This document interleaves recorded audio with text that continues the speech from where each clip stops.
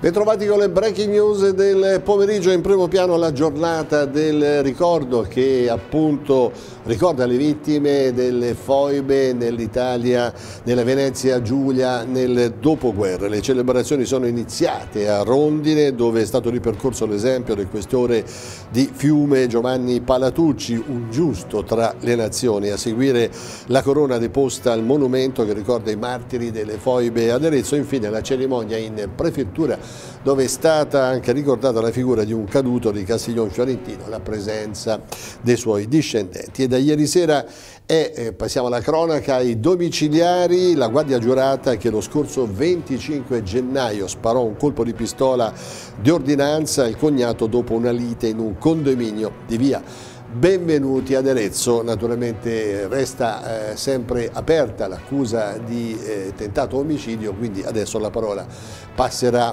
eh, al Tribunale in vista dell'udienza eh, preliminare. Nasce il patto federativo, parliamo di politica, tra le varie liste civiche presenti nei vari consigli comunali della provincia. Il coordinatore sarà Francesco Carbini di San Giovanni Valdarno con Marco Donati. È partito subito un input diretto al presidente, al neopresidente della provincia Alessandro Pulcri. E tutto con le breaking del pomeriggio, appuntamento alle prossime edizioni.